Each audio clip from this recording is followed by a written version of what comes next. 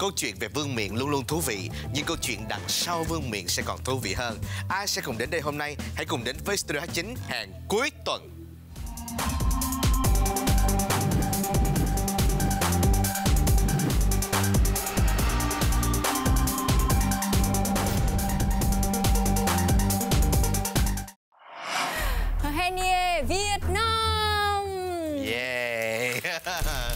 Rất là nhiều người ấn tượng là bạn đi rất là uyển chuyển. Học lỏm trên mạng anh ạ Học lỏm hả? Dạ vâng Không ai vậy hết, bạn đi học À. mở lên coi vậy thôi đó. Dạ vâng ạ Khi mà tôi làm sản xuất tôi cảm thấy chết không biết mình có làm cái gì sai không mà sao nó khóc hoài đó Dạ em có bồ rồi anh ạ wow trường quay vỗ tay cho hoa hậu có bồ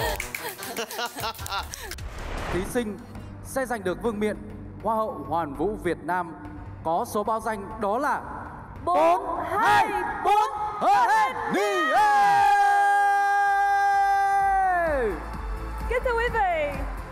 Vậy thí sinh mang số báo danh 424 Hờ Hèn Nie đã xứng đáng trở thành Hoa hậu Hoàng vũ Việt Nam năm 2017. giây phút vừa rồi tôi tin là giây phút khó quên của rất nhiều người. Những người luôn luôn chú ý về nhan sắc Việt Nam và đặc biệt với một cô gái đang có mặt tại nơi đây. Xin mời quý vị cùng gặp gỡ hoa hậu Henie Em xin chào anh Tùng và chào tất cả quý vị khán giả đang xem đài ngày hôm nay ạ. Mãi từ khi mà em um, rạng danh với uh, vai trò là Hoa hậu Hoàng vũ Việt Nam. Rồi sau đó là top 5 của Hoa hậu Hoàng vũ Thế giới thì anh vẫn chưa có dịp để mà uh, chúc mừng em một cách chính thức. Thì Dạ. ngày hôm nay thì xin được phép một lần nữa cảm ơn em chứ không phải là chúc mừng. Cảm ơn là bởi vì em đã nỗ lực và không phải vì cá nhân em không mà còn vì tất cả những người mọi người xung quanh em những người yêu quý em và yêu quý nhan sắc Việt Nam. Dạ em cảm ơn anh. Anh nói mà em xúc động quá. Bật mí với quý vị luôn là trước khi mà vô chương trình cô nói là cô xem chương trình này rồi. Và cô nói là em không biết phải nói chuyện sao với anh tại vì em thấy em em có gì để nói hết. Bây giờ sẽ là từ khóa mà chúng ta dành tặng cho người đẹp rất là đáng yêu đang ngồi trước mặt tôi đây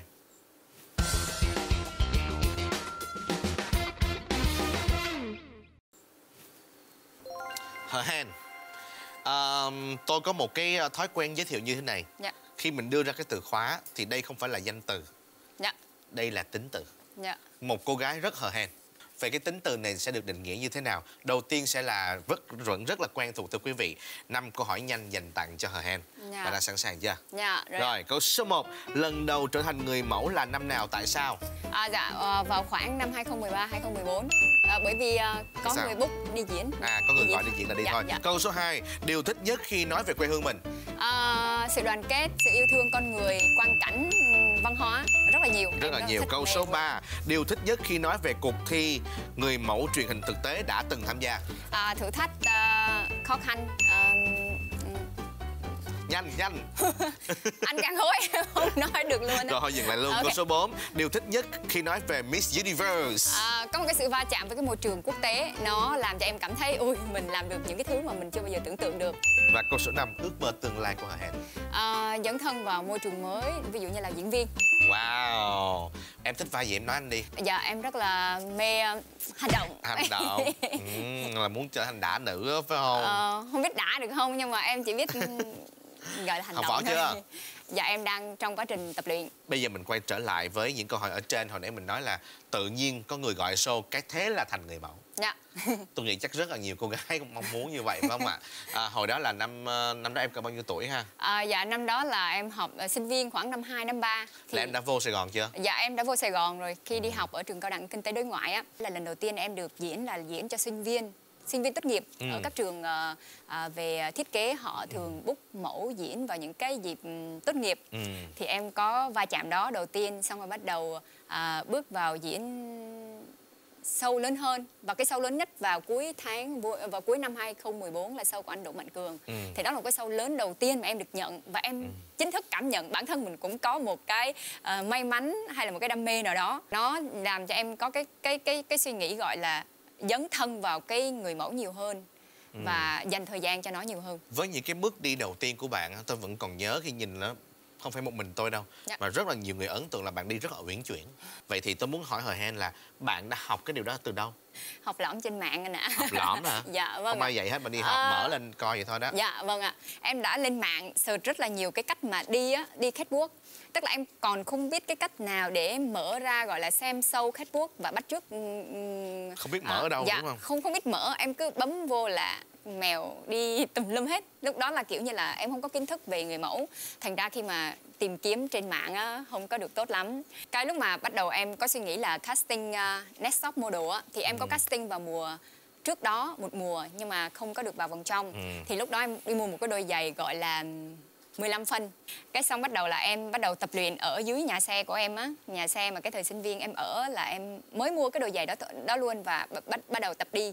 Cái xong có những anh chị họ đi lên đi xuống thì em cứ vẫy lại à, chị thấy em đi giống người mẫu chưa? Đi được chưa? Đó những cái lúc đó bắt đầu là mọi người tập các anh chị một số anh chị thì cũng có xem chương trình à, người mẫu thì mọi người bảo là chưa được còn cứng à, chân chưa chéo.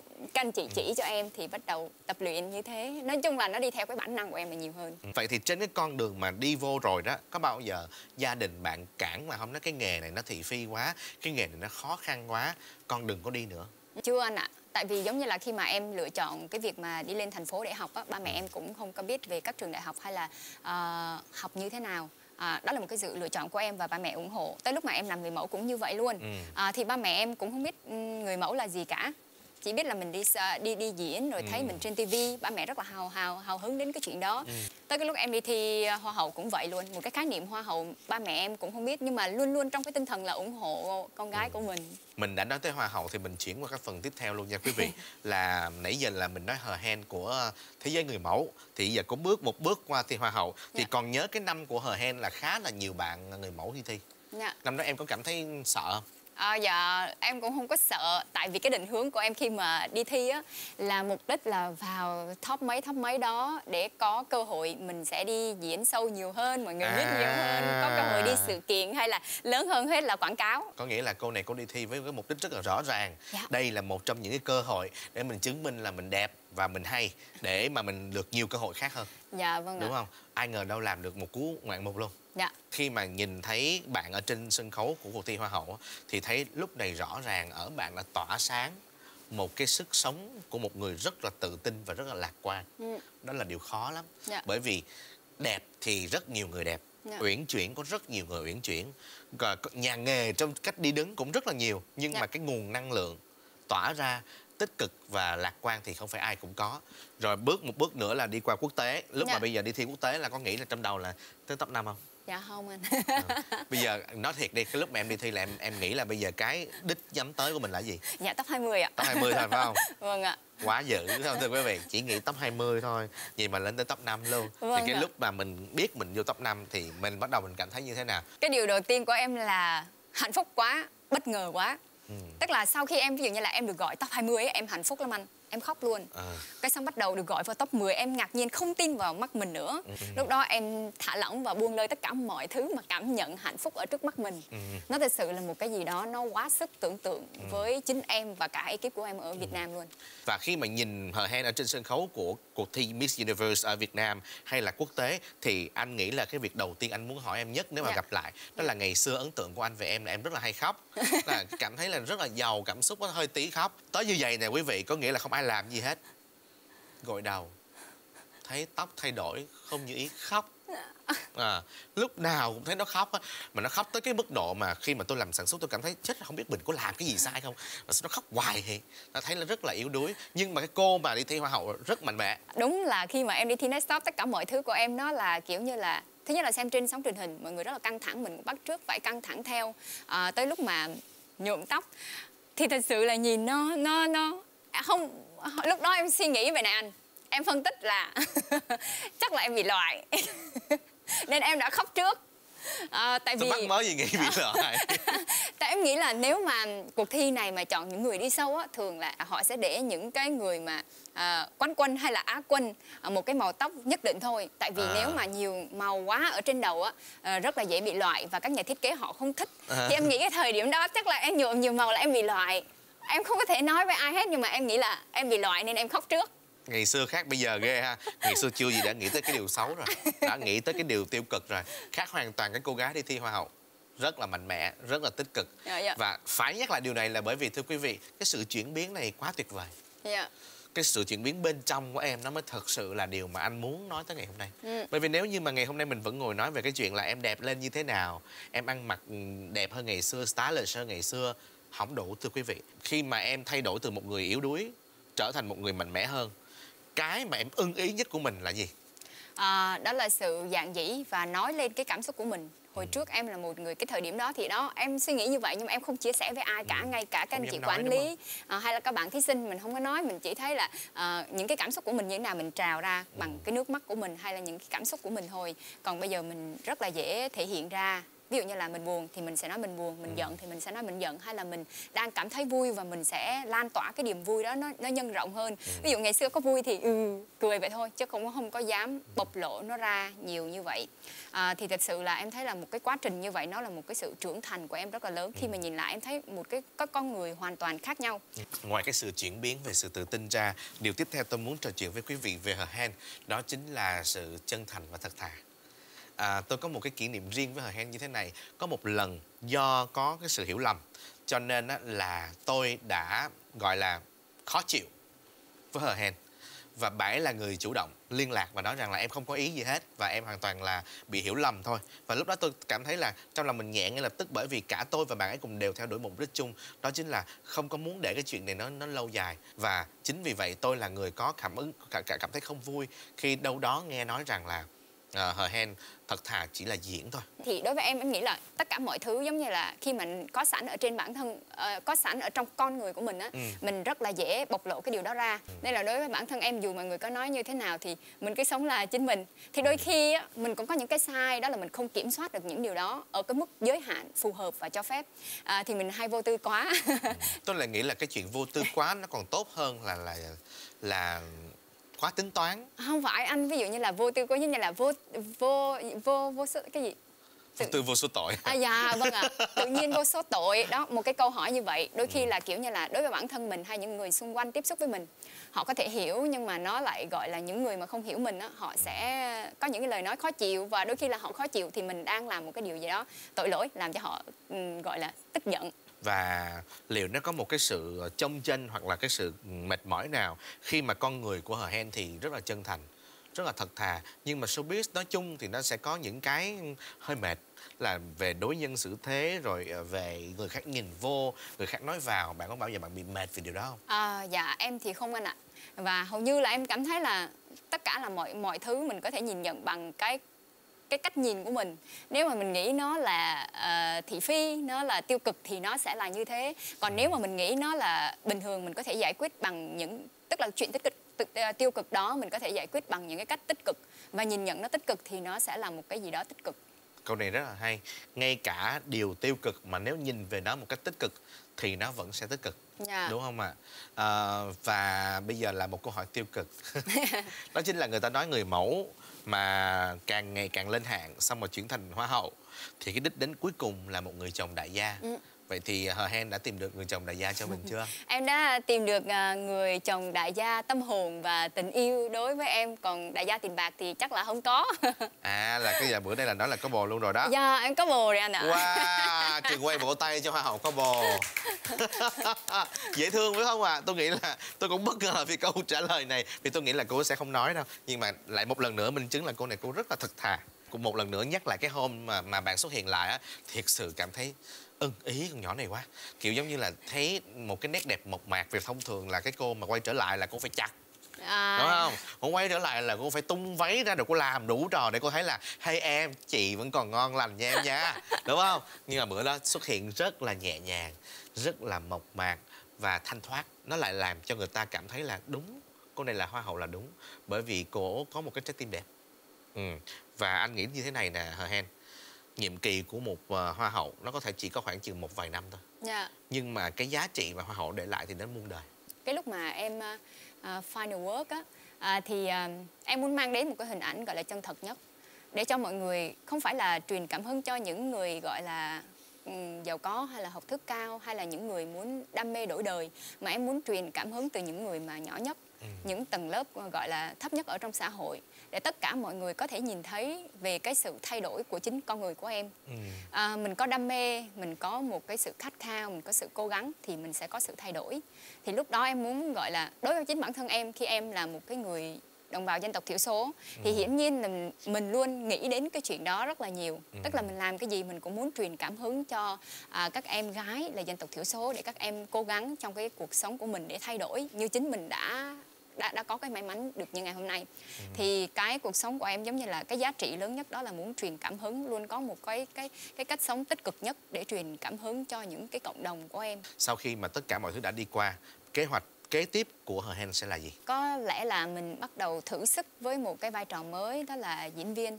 Dạ. thì em không biết là mình cũng có những cái may mắn trước ánh đèn sân khấu như cái cách mà em hay chia sẻ. Giống như là khi mà bắt đầu đang yên đang lành học một cái ngành gọi là tài chính xong lại có duyên với làm người mẫu. À, xong bắt đầu mình cảm thấy mình rất là thích cái hoạt động nghệ thuật. À, nó giúp cho mình cảm thấy tự tin hơn và nó là một cái gì đó nó đam mê ở trong con người của mình. Giống như là mọi người chia sẻ về độ tuổi của người mẫu thường nó có một cái giới hạn nhất định và các em mới sẽ luôn luôn đẹp và nó phù hợp với những concept hay là những cái ý tưởng. Mình thì già đi mình sẽ có những cái vai trò khác. Thì em nghĩ là một cái lĩnh vực là diễn viên thì nó sẽ là một cái mới để em có thể thử sức. Ừ, và câu hỏi cuối cùng trong phần đầu tiên đó chính là nếu bây giờ em nói một điều gì đó với ờ, Khánh Vân dạ. hoặc là những cô gái sau đó đi thi cuộc thi Miss Universe Việt Nam em sẽ nói điều gì? Ờm, à, đối với Hen là một người chị có thể là có thể là tuổi đời về nghề nghiệp nó không nó nó không là bao nhiêu hết. Nhưng mà có một cái sự cảm nhận khi mà trong 2 năm quá trình của Hen hay là quá trình mà Hen đi thi tại Miss Universe thì Hen muốn chia sẻ lại những người em ở phía sau đó là cái điều thứ nhất là làm tất cả mọi thứ hãy làm bằng cả trái tim của mình. Hãy hết lòng vì cái việc đó bởi vì là khi mình luôn luôn làm những cái việc tốt đẹp mình sẽ có những cái may mắn đang chờ mình phía trước. Và khi mình có một cái cơ hội để đi thi ờ, tại Miss Universe hãy thể hiện điều đó một cách tự nhiên nhất với cái lối sống hàng ngày để thể hiện bạn là một con con người ờ, rất là nghiêm túc ờ, rất là có đạo đức. Để cho ở thế giới người ta nhìn thấy bạn là một ờ, hình ảnh Việt Nam rất là tuyệt vời là một người phụ nữ Việt Nam rất là tuyệt vời. Phải luôn luôn thể hiện điều đó và thể hiện cái sự tự tin đó cái sự tự hào đó tại sân khấu. Khi bạn nói à, trước kia là mình hô là ở tỉnh thành mình đã cảm thấy hạnh phúc rồi. Và khi mình đi ra thế giới thì mình lại hô Việt Nam. Điều đó nó hạnh phúc lắm anh. Bây giờ em cũng nói từ em Việt nói Nam lại cái câu đó là cho nghe thử coi cái câu mà lúc em nói đó em nói lần sau em nói nghe thử coi Henie Việt Nam yeah khi mà em nói câu này thì em cảm thấy rất là nổi da gà Ừ. cái ngày đầu tiên mà em được tập ở tại ờ, tại hậu trường á Ừ. ờ, tại sân khấu gọi là dựng của cuộc thi á thì khi mà hô á em khóc anh ạ. Ừ. tại vì mình chưa bao giờ nghĩ tới là mình lại có thể có một cơ hội đại diện đất nước Việt Nam mình lại hô cái tên đất nước của mình như thế. Tức là mình chỉ nghĩ là mình rất là nhỏ bé trong cái xã hội này được đại diện cộng đồng ED của mình là mình đã cảm thấy hạnh phúc rồi. Đại diện của tỉnh thành mình đã cảm thấy hạnh phúc rồi. Mình là đại diện Việt Nam nữa. Nó nó lớn lắm anh cái cảm xúc đó rất lớn hy vọng các em sẽ trân trọng điều đó. Cái cái cách mà gọi tên mình và gọi tên đất nước đã trở thành một trong những cái khuynh hướng xã hội trong những cái việc mà các bạn trẻ rất là mong muốn được một lần như vậy. Tôi tin đó cũng là một cái sự lan tỏa về về niềm tự hào. À, ngày hôm nay mình chỉ không phải là mang đến một niềm tự hào vì là mình đẹp mình là một cô gái đẹp mà mình còn làm cho rất là nhiều bạn trẻ yêu đất nước hơn nữa. Dạ, phải cảm vâng ơn em về điều này. À, dạ. À, Một, à, em cũng muốn chia sẻ một cái cảm xúc của em khi mà gọi là à, khi mà người khi mà mình là một cộng đồng thiểu số khi mà mình tên của mình không được gọi đúng á mình sẽ cảm thấy hơi buồn ừ, nhưng mà cái cảm xúc của em khi mà anh gọi em tại Nestop á À. em rất là ấn tượng và em cảm thấy hạnh phúc vì điều đó em nói là ờ, trong cái ờ, gọi là từ trước tới thời điểm đó là Ừ. chỉ có anh Tùng Leo là đọc tên em một cách hùng hồn hoành tráng nhất giống như là em Yeah. cảm thấy là từ cái lúc mà anh gọi tên em á mọi thứ ở tương lai nó cũng như vậy yeah tôi có công cho mọi người nha thank you anh em cảm ơn anh dễ thương quá vô. Rồi, cưng quá Dạ, đi à mời anh. Ừ. Quý vị thân mến, đó chỉ là phần đầu tiên rất là dễ thương của anh em chúng tôi dành tặng cho quý vị trong tối nay thôi. Sẽ còn những điều dễ thương khác đang chờ đợi quý vị. Đừng chuyển kênh, chúng tôi sẽ quay trở lại ngay.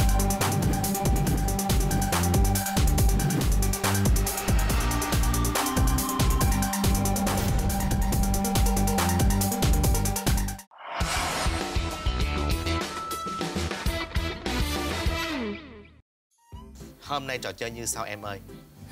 Bên đây là topic, có nghĩa là chủ đề. dạ bên đây là true or false là thiệt hoặc giả Ừ. bây giờ em cầm cái topic lên em cầm cái chủ đề lên em Dạ. ghét với cái kia Dạ. nếu như mà em làm cho anh đoán được đúng Dạ. thì coi như là em sai em thua dạ nếu mà anh đoán sai thì em thắng Ừ. được chưa và Dạ. đây là nước chanh quý vị ơi quý vị đừng có tin cái bề ngoài thật ra đây là nước chanh thiệt á Cốt- quay phim có muốn uống thử không? Nước cốt chanh. Nước cốt chanh nha. Thì ai mà bị thua thì bên thắng sẽ rót cho người kia uống và tùy theo tấm lòng mà rót ít hay nhiều. Dạ ai trước? Dạ. Dạ. ai trước? À, dạ anh chơi trước đi ạ. Anh chơi trước phải Dạ, không? Anh coi phải không? Rồi anh Dạ. làm thử nha. Chủ đề của anh là sự nghiệp. Em... dạ. Chắc hờ hen cũng biết anh rồi. Dạ vâng trước khi mà anh làm mc là anh có làm giáo viên. Dạ. Đúng không à, anh làm giáo viên của trường kiến trúc dạ trường Văn Lang một số trường rồi sau Dạ. đó anh mới chuyển qua cái ngành lĩnh vực này không Dạ. nhưng mà rất là ít người biết là trước khi làm à, giáo viên là anh có làm ca sĩ anh có làm ca sĩ nha xong anh có làm diễn viên nữa nha rồi anh mới bắt đầu từ từ anh mới thấy mình không hợp với showbiz anh mới quay lại làm giáo viên đó và làm ca sĩ làm ờ, diễn viên một thời gian xong anh mới thấy là ờ, mình không có hợp với showbiz mình làm giáo viên cái xong làm giáo viên thì nhớ showbiz quá cái lại là mc dạ không sai. Sai phải không? Dạ sai ạ. Thật. Thật. Wow. Ừm, thưa quý vị. Hồi nhỏ tùng là thành viên của một nhóm nhạc. Ồ, À. em sẽ đi xanh lùng và tùng đã tham gia điện ảnh từ rất là sớm một cái vai rất là bé ở trong phim những cô gái chân dài. Wow! Anh là mà nhân điều vật thú vị đây? là như thế này nè trong phim đó tùng đóng vai mc à, có nghĩa là anh anh đảng anh nhìn rất là sớm là anh có thể làm được công việc đó. Dạ. Đó sau này mỗi lần mà gặp lại anh Vũ Ngọc Đảng là anh đều nói là thấy chưa? Anh nhìn em là MC được đó và em thua đó hả Hen à tại vì em nhớ rất rõ anh nói một câu là cái bộ phim uh, uh, tấm cám đúng không anh? Hay à, không có ba sài gòn. Ba. là đầu bộ phim đầu tiên anh anh đóng nên đầu là tiên mà vai vai lớn thôi. Dạ. Ờ, chứ vai nhỏ thì nhiều lắm. Bây em giờ bị lừa đó. Bây giờ uống là dạ Ờ, bao nhiêu cũng được anh thôi không không nhiều đâu. Đó. dạ. Em tự cạn ly cô này cô nói bao nhiêu cũng được có nghĩa là cô uống chua dữ lắm. Dạ em uống ăn chua ăn cay ăn đắng. Dạ Là tới bến luôn. nghe. dạ các cô gái xinh đẹp ơi em nào muốn trở thành hoa hậu nhớ uống chua mỗi ngày ăn ớt mỗi ngày ăn đắng mỗi ngày. Ừ. không bỏ thêm muối nữa. Không Ủa muối hả? tây ninh nữa. Anh chắc là ngon lắm. À rồi tới em đó. Ôi, siêu ăn miệng quá anh ạ nè. Mấy cái này em phải suy nghĩ ra mới ghê chứ. Nỗi sợ. Ừ. dạ. Đừng đọc cái lên. Đừng đọc. À, à, em à, không bao giờ sợ độ cao. À, em có nhảy à, bungee ở New Zealand với độ cao là 49 49 mét. Em cảm thấy rất là thích. Có mỗi lần mà nhảy xuống như vậy á nó là một cái cảm giác rất là thú vị à, cho bản thân mình. À, và nó cảm giác giống như là em hay xem những cái bộ phim cổ trang của Trung Quốc hay bay á thì cái thời điểm đó là cái lúc mà mình cảm thấy là mình đang bay. Ừ. dạ. Em đang nói thật. Đúng không? Dạ không nói xạo. Trời ơi! Em sợ độ cao hả? Dạ em cực kỳ sợ độ cao. Bà này bà làm diễn viên được. Dạ anh tự rót đi. À. uống chút thôi anh ạ. Để dành cho em hay. Có muối không chị?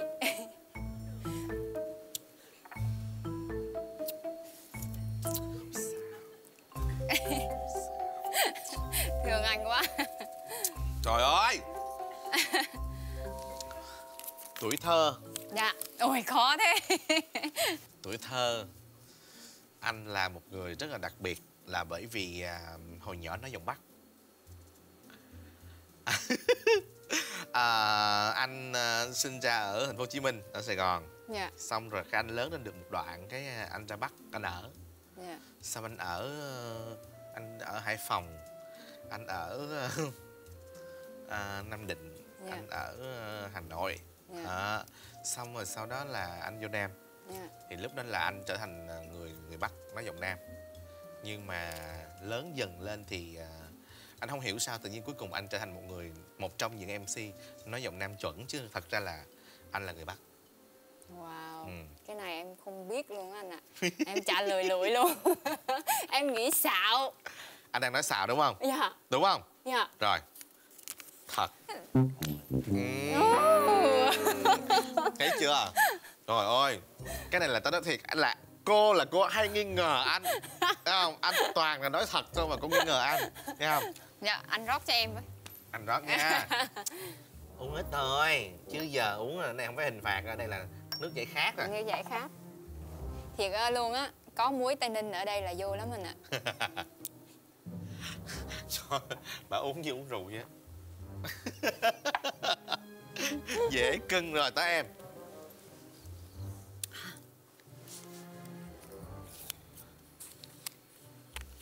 Thói quen xấu anh ạ à. Đừng đọc lên nha. À, thói quen xấu của em là hay à, ngoái mũi. Dạ. Hết. Dạ. Em đang nói thật. Ủa đúng rồi em đang nói thật á nhưng mà ở trong này là xạo. Là em sai đè đúng không em anh sai. Tự bị bấn lại rồi. Như vậy tôi biết rồi. Cái nước chanh này nó không phải là chua mà để cho người ta sợ. Là uống cho nó bị bấn loạn. Dạ ủa? Là em phải nói xạo hả? Em phải nói xạo chứ. Uống đi. Tới anh nè.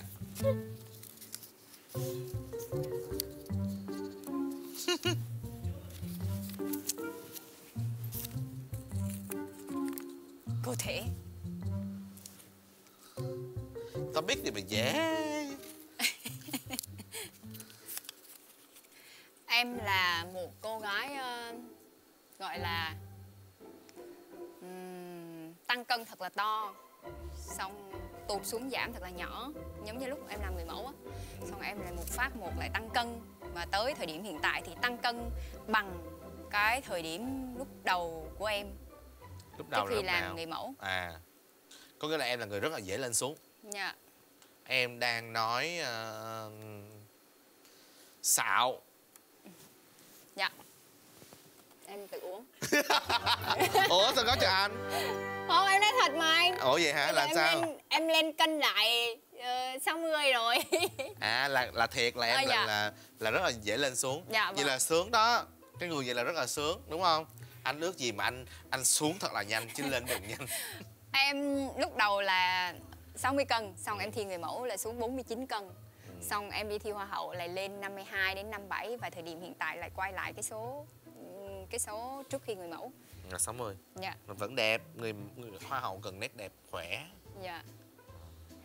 Thôi à, anh ơi, hình như là đây là ý cuối rồi hay sao? Em với anh Vô cạn ly vì Rồi. những cái điều may mắn anh đã mở mang cho cuộc đời của em. yeah Để em mở ăn hết luôn, uống hết luôn. wow uống hết luôn Dạ, để tí nữa mai em eo thon để em đi quay. yeah. rồi rồi, chúc mừng em chúc sức khỏe anh. Cảm Yeah, ơn anh. cảm ơn em Nha. Quý vị thân mến vừa rồi là một phần trò chơi mà để cho quý vị thấy được rằng là một người thật thà như cô gái này mà phải đi vô lĩnh vực diễn viên là cực khó nha tại vì thật thà là rất là khó làm diễn viên. Đó nó phải có kỹ năng. Dạ. thì tôi hy vọng là trong lần sau quay trở lại khi mà ngồi đây là một nữ diễn viên điện ảnh thì lúc đó mình sẽ trò chuyện theo kiểu khác. Và đó là ước mơ mà em mang theo và anh rất mong muốn em đạt được. Dạ. còn bây giờ sẽ là phần cuối cùng của chương trình ngày hôm nay. Xin mời quý vị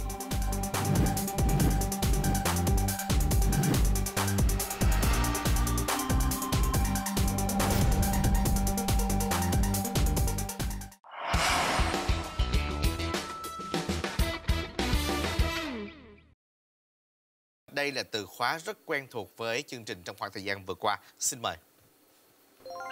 I love Ho Chi Minh City, tôi yêu thành phố. Ừ. À, điều này nó hơi đơn giản đến với một cô hoa hậu bởi vì một khi đã ra trường quốc tế thì cô ấy sẽ phải nói về tình yêu của ấy dành cho cả đất nước cơ.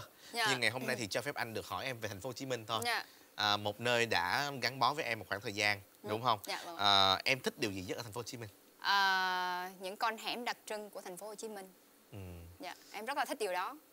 Em còn có đam mê là chạy loanh quanh các con hẻm để à, khám phá cuộc sống của người dân ở tại thành phố. Nó rất là hay. Ở quê em là một cái mỗi người được ba sào đất là mỗi người cụm cụm cụm rất là xa nhau còn trong thành phố nó cứ sát sát sát sát nhau nó làm em tò mò và hứng thú Ừ, Người ta nói thành phố Hồ Chí Minh, Sài Gòn thành phố Hồ Chí Minh có những con hẻm rất đặc biệt. dạ Bởi vì trong một con hẻm cả một cái cuộc sống nó đang diễn ra dạ vâng như một thành phố bé. dạ Có những con hẻm ở trong đó buổi sáng ra em có đồ ăn sáng, dạ có nhà cho trẻ em ở kiểu mẫu giáo mà tư nhân á. dạ vâng ạ Đó, rồi có chỗ giặt đồ. dạ Đúng không?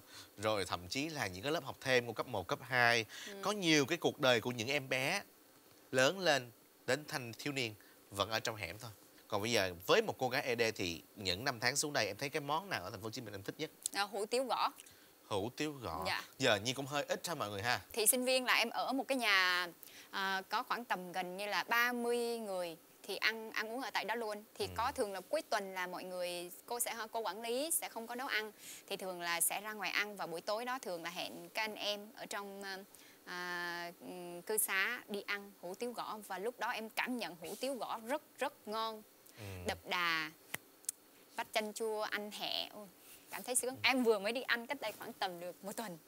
Là em, em vẫn hủ tiếu gõ hả? Dạ vâng ạ vẫn em tìm còn... ra được chỗ đó hay giờ anh không tìm được tại vì chỗ anh ở không có gõ. À, tại vì cái hay của nó là cái cái cái gõ cọc cọc cọc cọc á.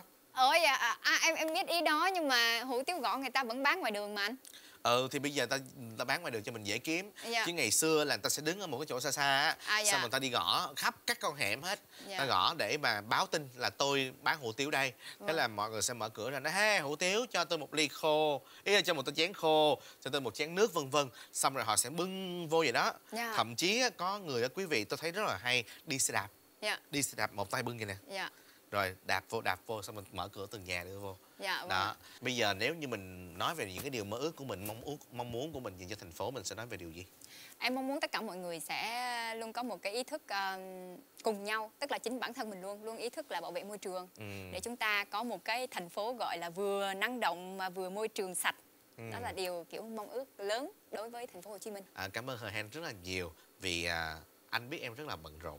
À, mà em vẫn dành thời gian đến đây để cùng chia sẻ với anh. Và hy vọng là lần sau chúng ta sẽ gặp nhau ở tư thế mới không chỉ là hai anh em với nhau nữa mà có thể là một sự hợp tác nào đó ở trong lĩnh vực điện ảnh. Nha. Dạ. Ừ. quý vị biết không trong cái phần trò chơi vừa rồi thì cả tôi và hờ hen đều phải mở ra những trang giấy ghi là thật hoặc giả. Nhưng điều tôi tin rằng bây giờ không có cần phải mở bất cứ một tờ giấy nào. Quý vị cũng sẽ biết chúng tôi nói thật đó là chúng tôi vô cùng yêu quý quý vị. Rất cảm ơn quý vị đã cùng theo dõi chương trình này và hẹn gặp lại quý vị ở những chương trình lần sau. Xin chào và hẹn gặp lại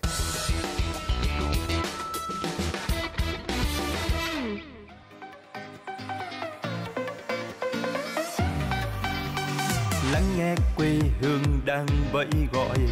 Giữa tháng năm, phong ba bão bùng. Lắng nghe nơi sâu thẳm tim mình lửa nhiệt tình còn đang nung nấu. Nếu ai cũng khoanh tay chân chừ ai sẽ sung phong ra tuyến đầu? Dẫu gian khó, vẫn nắm tay cùng nhau. Cuộc đời làm gì có niềm đau?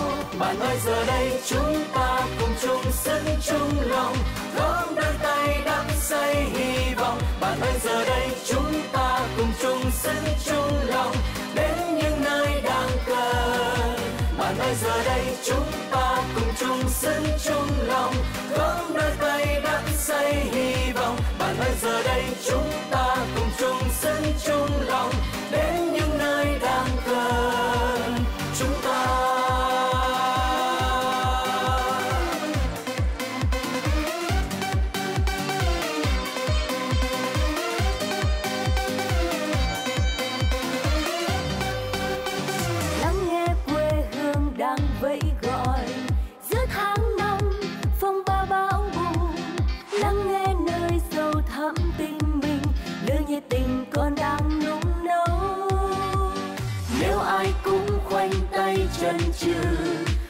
sẽ sung phong ra tuyến đầu. Dẫu gian khó, vẫn nắm tay cùng nhau. Cuộc đời làm gì có niềm đau.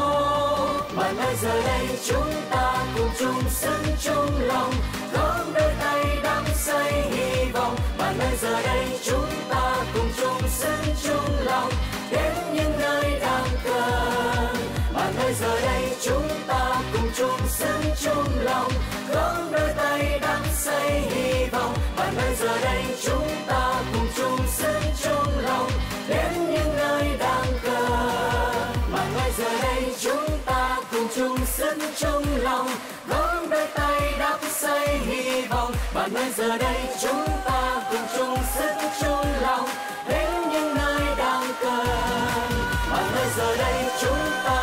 chung sức chung lòng gom đôi tay đắp xây hy vọng. Và bây giờ đây chúng ta cùng chung sức chung lòng đến những nơi đang cần. Bạn chúng ta